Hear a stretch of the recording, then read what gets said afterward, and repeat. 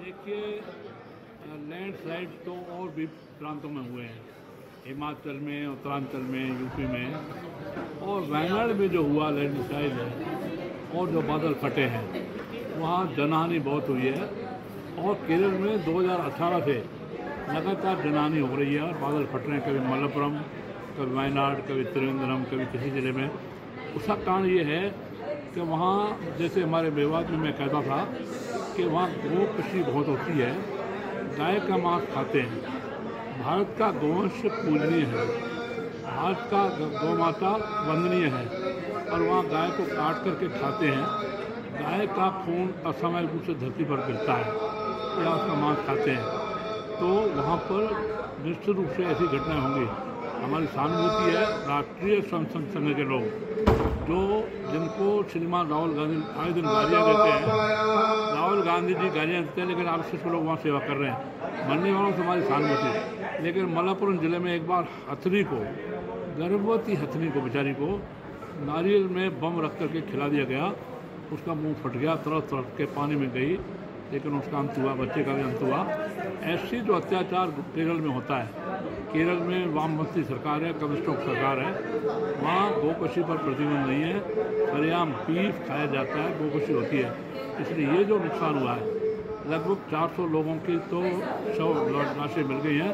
पाँच सात सौ लोग और घायल हैं या मरने मरने की स्थिति में है। तो वायनाड में जो हुआ है, ये बड़ा कारण गोकशी के कारण हुआ और हाथियों पर अत्याचार कारण हुआ, जीवों पर अत्याचार कारण हुआ।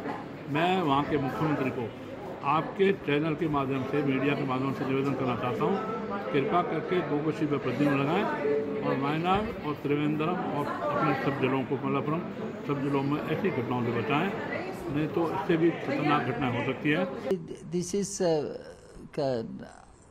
कमेंट और observation which should be rejected with all contempts that deserves.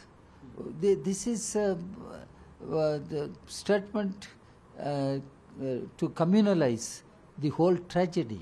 A tragedy occurred, people are passing through suffering. As political party, our party and several other parties are working how to help the people, how to help people uh, financially uh, and uh, supplying relief materials. People need food, people need shelter, people need medicines, and uh, BJP is uh, trying to communalize the whole situation, cow slaughter, this. What is your responsibility as a political pa- uh, party? And uh, cow slaughter, what do they mean by cow, cow slaughter?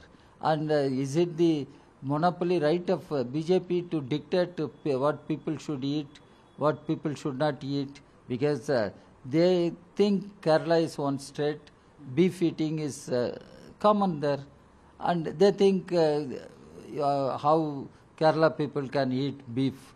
Uh, that is what BJP RSS combine is trying to make out.